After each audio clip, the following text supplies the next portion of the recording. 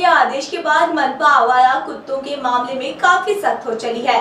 मनपा आवारा कुत्तों को उठाकर उनकी नसबंदी कर रही है। पर लोगों में संभ्रम है कि कुत्तों का अच्छे से ख्याल रखा जा रहा है या नहीं।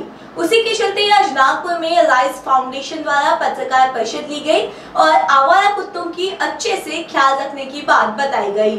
आ, हम जानकारी इस मुद्दे पे बता रहे हैं कि जो अभी आदेश आया है हाईकोर्ट का कि डॉग्स उठाने हैं तो उन डॉग्स को लेके बहुत पैनिक फैला हुआ है पूरे शहर में कि वो डॉग्स अभी कहाँ जा रहे हैं, उनका ठीक से पालन पोषण हो रहा है क्या, उन्हें खाना मिल रहा है क्या? तो इसी संदर्भ में हम लोग यहाँ पे आए हैं कि वो जो डॉग्स हैं, वो सारे हमारे एनजीओ में आ रहे हैं राइस एनजीओ में आ रहे हैं और उनका पालन पोषण हम बिल्कुल ठीक से कर रहे हैं, उन्हें दो बार दिन में खाना मिल रहा है। हमारे जो डॉक्टर हैं, वो उनका पूरा चेकअप कर रहे हैं, जो स्टरलाइज नहीं है माने जिसकी नसबंदी नहीं हुई है, उसकी नसबंदी हम लोग कर रहे हैं। और जिनकी नसबंदी हो चुकी है उनको हम लोग वैक्सीनेशन प्रोवाइड कर रहे हैं।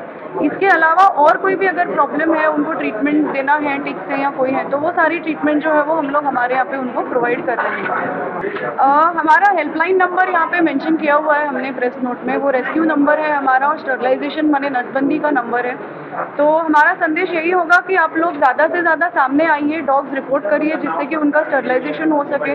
और अगर आपको कोई एनिमल दिखता है जिसको ट्रीटमेंट की ज़रूरत है या जिसको रेस्क्यू की ज़रूरत है तो आप रेस्क्यू नंबर पे कॉल करिए और हमसे जुड़िए। गार्गी वेरा करिए।